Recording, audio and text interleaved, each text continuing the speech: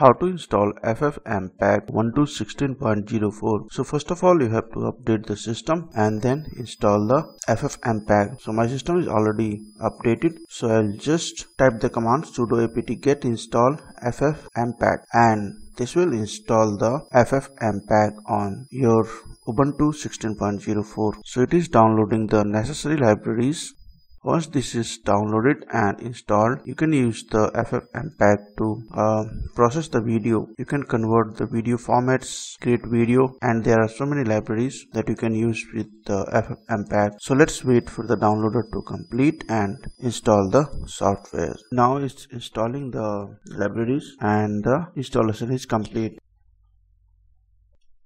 So it is installed. Thanks for watching the video and subscribe our channel.